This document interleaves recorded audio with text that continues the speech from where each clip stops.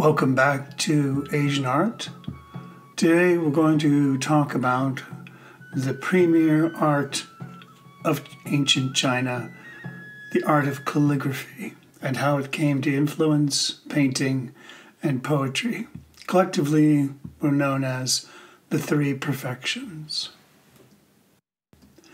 First, before we begin talking about calligraphy and painting, I want to talk about a very important invention that China um, created early in its history.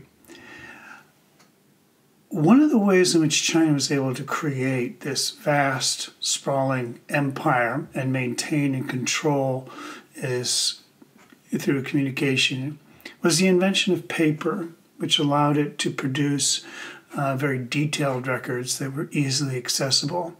The fact that even today paper is this enormously versatile and useful material that appears in so many different ways, in so many different forms, we have to acknowledge its extraordinary versatility. And it's really very inexpensive to produce. If you think about the options um, that were available at the time it was created in China, uh, they primarily wrote on bamboo strips, which are quite heavy. So Qin Shi Huang Di in the Qin dynasty used to command 120 pounds of bamboo slat documents a day. And now you can imagine 120 pounds of documents every single day. Within a year, you would have enough to fill a room. And over several years, just trying to sort and recall information on these documents could be really cumbersome. So it was the sort of desired in these sprawling governments with these massive projects it was really important to have and facilitate lots of communication. This paper became this very useful thing, and it's attributed to Cai Lun in the Han Dynasty, who was a Confucian scholar. Now, there's evidence that paper may have existed prior to this time. So the invention by Cai Lun might have been simply that he brought it to the attention of the emperor. Uh, it may have been something that was being experimented with in various places and parts of the country. Paper, if you're not familiar with the construction, is fairly simple. You see this this device here. Um, there's a tray, and there's a fine bamboo mesh uh, at the bottom and what is sort of poured into the tray is this liquid slurry of, of plant fibers that are sort of sifted down so the water drains away, leaving a mat of fibrous material. And then uh, sizing and pressing and drawing, this becomes sturdy paper. It's usually made out of waste material that is uh, very inexpensive to uh, produce. It's durable, it's archival, it's super light. The other option at this time was writing on silk. As we know, silk is very expensive. But if you had uh, something that was urgent and needed to be tucked away, like we know in a secret way, a silk document would be uh, preferred. So, with the invention of paper, this really transformed the materials available for making art and also had an impact on the way the Chinese was written. Take, for example, the, the, types of script. Now, Chinese writing, I haven't talked about this too much, is pictographic in its earliest inceptions, meaning that each symbol, shape, form is used to describe an idea. It's not a sound like a, an alphabet, a character in an alphabet would, refers to essentially a sound, and we are reconstructing the spoken language when we write. Chinese does that to a certain extent, but more specifically, it's focused on ideas and combining ideas to create other ideas. So each picture, in a sense, or each character, uh, in a sense, kind of describes an idea. Now, here you can see over time the way in which these shaped forms have evolved. And you'll notice that they remain remarkably consistent in many ways. Now, it's hard to read, of course, when you get to the more advanced forms, but there is a kind of similarity that has existed across all characters going back to the earliest times on the column on the far right, these are the inscriptions on the Jiaoguan bones. And then we have the next column, these are the seal inscriptions that were used in the bronze castings. Then we start to see around the Han Dynasty, about the time of the invention of paper, the use of, of also using brushes. So you, now you have thinner and thicker lines. Brushes can hold more ink. So detailed characters with practice can be done faster and with greater precision. and so the complexity and the speed of writing Chinese dramatically improved with the introduction of paper and writing with brushes.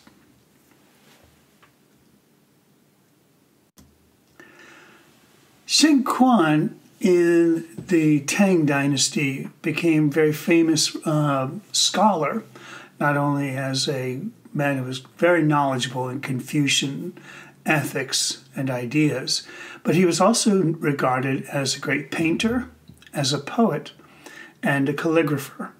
And so these three things were highly prized in skills in being a Confucian scholar. So if you wanted to rise within the ranks of the government, you not only had to pass this very rigorous and demanding exam on Confucian scholarship, but then you had to present yourself as a cultured and artistic person. And to develop and cultivate the skills in these three areas uh, was considered very important. Of course, there were all kinds of other skills that were important, but these three became known as the three perfections, meaning the ones that were given the biggest import and cachet. And everyone was supposed to have um, some skill in beautiful writing, beautiful poetry, and beautiful painting, that these were things that people cultivated. Of these three, calligraphy was considered one of the highest and most developed skills. The most celebrated calligrapher in all of Chinese history is Wang Zixi, whose writing really defined and characterized what becomes standard Chinese script even to this day. The most famous writing of Wang Zixi is lost to us. We now only have copies of copies of copies. This is one of the oldest copies we have of this text, not written by Wang Zixi, but by a student of a student. Um, the legends of this writing and the importance of this writing cannot be underestimated. It has been historically regarded as one of the greatest works of calligraphy ever composed. Wang Zixi wrote this on a very special occasion. He was invited to a party along a river at the Orchid Pavilion. And he and his friends and close relatives were there having a party and they were drinking. And they would float cups of wine down a stream. And they sat on either side of the stream. If the cup came to you, you were to drink it and then compose a poem on the spot. They collected these poems and they put them together into an anthology. And Wang Zixi, being the greatest calligrapher among them, was invited to write a preface, sort of an introduction to the poems that they collected from their drinking party that day. And in this, uh, he writes beautifully about this lovely spring day and this gathering of friends and how wonderful it is to be among such excellent company.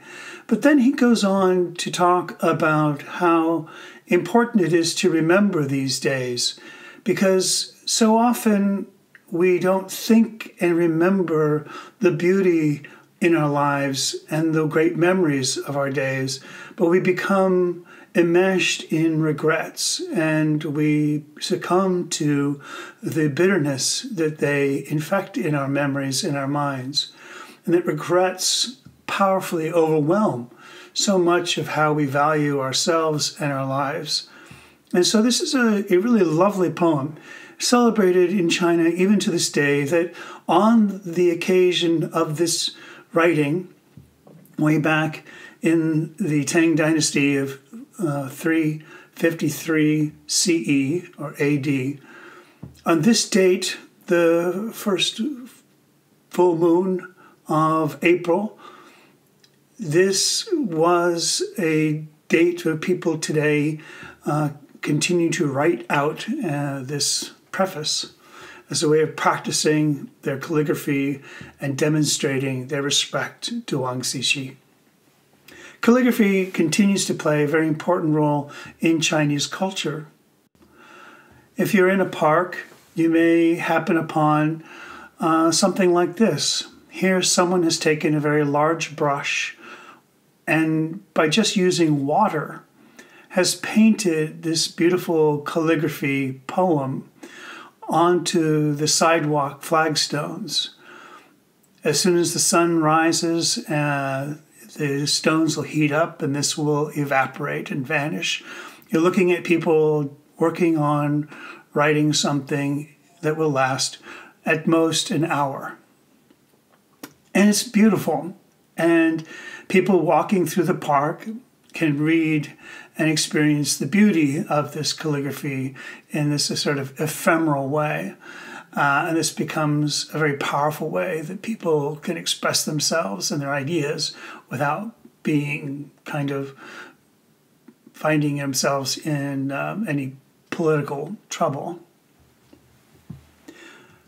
Another very interesting way in which Chinese characters are respected is that it's felt in many places to be inappropriate to merely throw away scraps of paper that have writing on them.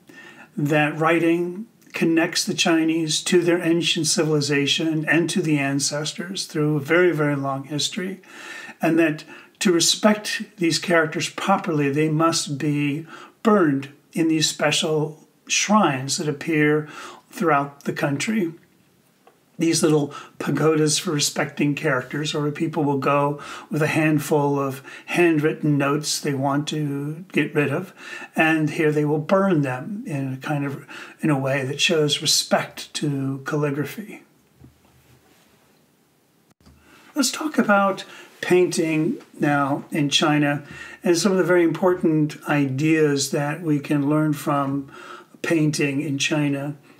When we think about painting in the West, and especially in Europe and the United States, you go to a museum, you'll see a painting hanging on the wall, or you may have pictures in your own home. Um, and these pictures just sit there. They sit there regardless of the time of day or uh, regardless of the season. And they, this kind of picture tradition doesn't really exist in China pictures are much more uh, provisional and intimate. They're handheld. You can see here on this picture on the left the different formats, and you'll notice there's scrolls, there are codexes, which are these sort of folded fan shaped books. They're fans. Um, they can be wall hangings, but again, they don't stay on the wall. They're meant to be hung or held out or rolled, unrolled on a table. And there's sort of an intimacy to these objects that invites a kind of close reading and a kind of personal inspection. They are brought out on special occasions and shown to special guests according to the season and who the guest is. A person might bring out some part of their collection to share with their visitor. On this occasion, uh, if it was a very important visitor, the visitor might bring a work of art, and or the host might give a work of art, or even a host might invite the uh, guest to write their name or sign a work of art that they own. Okay, this kind of interaction, this kind of exchange, when gift giving exchange, artwork was a part of this sort of patronage that was a very important cultural touchstone to Confucian ethics that ruled Chinese elite uh, in the government. We've been talking about the Tang Dynasty, which is, follows sometime after a period of confusion at the end of the Han Dynasty. And in this period, we see a huge expansion out, the sort of red extension that goes out to the west, uh, which is the Silk Road, and uh, a development of a new technology at this time, which is porcelain is a very extraordinary invention by the Chinese in that it is not a particular kind of clay body. It's actually a combination of clays that is fired at an extremely high temperature to create this sort of brilliant white, hard uh, ceramic surface. So, porcelain as a resource becomes enormously valuable. And in later years, as silk becomes more commonplace around the world, porcelain remains a special skill and provenance of Chinese manufacture all the way into the 19th century. Porcelain uh, was originally developed and designed with a kind of clay intention to create sort of brilliant white and blue glazes and sort of milky white, something that might, in fact, imitate the characteristics of jade porcelain starts to appear um, prevalently in the Tang Dynasty and especially in tomb art, where people began to celebrate their wealth um, by having uh, porcelain horse figurines. Horses have been in China for many centuries and are always an important symbol of power and in this, we start to see a, a important uh, way in which the horse is now a symbol of wealth and prosperity, and it's become very common in uh, tomb sculpture arts. A very important kind of ceramic uh, uh bronze piece here is the um, flying horse. This is from the Han Dynasty. I show this here as a beautiful example of a horse as a symbol of power, and a horse as a symbol of wealth and prosperity. Horses were brought from Central Asia and they required great care and uh, maintenance. And so, as China becomes more prominent and powerful, horse becomes a symbol of the prosperity and the power of the new Chinese empire. Here is a very famous painting uh, by Han Gan, who was a celebrated painter of horses. And here he is painting uh, the emperor's most famous, favorite steed, Night Shining White. In this uh, painting, he's painting it just with black ink on uh, paper. And you can see the way in which the figure of the horse is animated and this powerful creature. But he's also painted this creature kind of tethered to this pole. Uh, and it may have been a kind of veiled critique that this emperor who had these beautiful and powerful animals, uh, left them sort of tethered up, and like he kept China as a way of sort of keeping it in check and not using its full power or potential. So now, when we look at this extraordinary painting, you'll notice that not only do we have a picture of horse tethered to a post, but we have all kinds of inscriptions. We have writings and then a whole flurry of red marks or stamps that cover the page. And this is only some small part of this. You'll notice that the, the main drawing is on one piece, and then the subsequent pieces of paper have been added to this. Sometimes these scrolls um, many feet of additional paper has been added over the centuries as people have been invited to sign or comment on the original painting. And so these are inscriptions and and signatures of all the different people of importance who have come into contact with this painting and who have left their own poetic commentary on this painting.